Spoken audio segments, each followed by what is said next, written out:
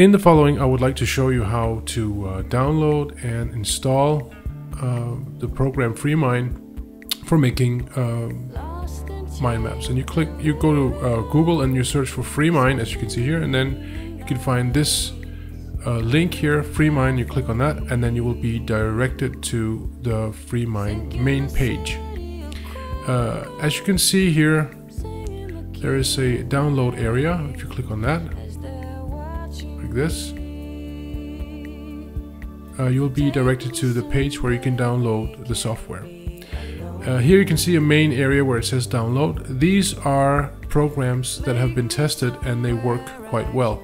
But there are some newer versions. If you go to the bottom where it says latest beta versions, um, in that area you can actually choose to uh, uh, download the newest versions of FreeMind and I suggest you do that. On this page uh, you can find the newest versions and you have to look for this one uh, in the top that is always the newest version and uh, click on this little triangle and you're going to see that it unfolds. Here you have different versions of FreeMind for different computer systems. This is for Mac and uh, underneath you have for Windows.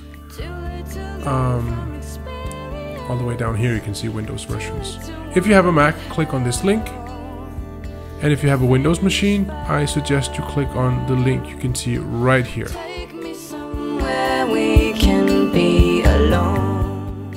Yeah, so I've downloaded FreeMind, installed it, and uh, now I'm gonna make a mind map, and I'm gonna make a party mind map, in which I will try to uh, put some uh, information about what I want uh, for my party. I want some guests to come to my party, so I'm going to invite, make a list of uh, people that I'm going to invite, and then uh, there are some possible venues. Where do I want my party to be uh, held?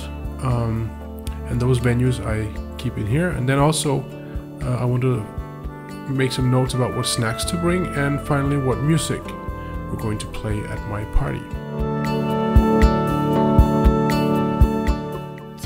And so here, uh, the guest list, uh, I just want to make a list of names, and since this is just a test map, I'm just going to write friend 1, friend 2, friend 3, etc. And this list could go on, and I could just keep it going. And uh, the possible venues that I could uh, make my party be something like, for instance, the local community house. Or maybe I could uh, use my friend's house. I'm going to write that here. Or maybe I could just use my own house. Okay, I'm gonna move on. What snacks to bring? Um, I'm surely gonna have some soft drinks. I don't really know whether I'm gonna bring alcohol or not, so I'm gonna write it and then, uh, or maybe not, and then question mark. Um, I want some um, potato chips and some popcorn, and I could just make a longer list depending on what I want to bring. Okay, moving on to music. I'm gonna bring my favorite artists, and uh, since this is still just a test list, I'm gonna write artist one, song number one, song number two, and uh, another artist as well, and so on and so forth. You just make the list go on and on and on with all your favorite artists and all your favorite songs.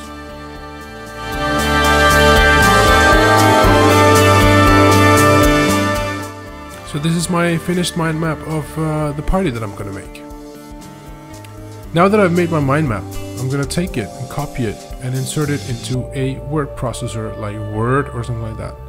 That will turn it into a list like this, which makes it more easy for me to see what things I have to do and in what order to do it. Another thing I can do if I go back to my mind map is I can give it a layout like this, uh, so that I can see uh, my different levels in my mind map in different colors. And these colors will as well be um, pasted into my word processor when I copy and paste my mind map. I hope you found this introduction useful.